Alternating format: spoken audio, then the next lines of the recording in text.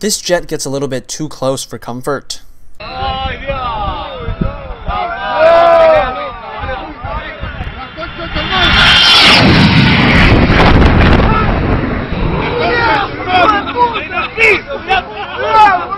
Meanwhile, here's how you peel and core an apple with a gigantic fucking knife at Bouse-like speeds.